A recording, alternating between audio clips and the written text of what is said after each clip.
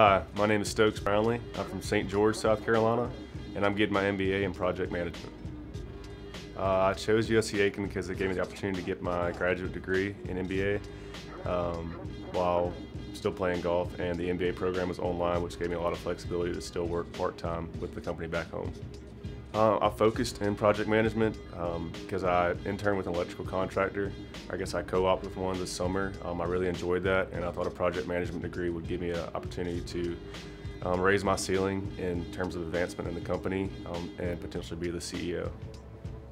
Haven't wanted to think about that too much, um, but I do have a plan. Uh, if golf doesn't work out, I'll be pursuing a job as a project manager for that electrical contracting company in St. George, South Carolina.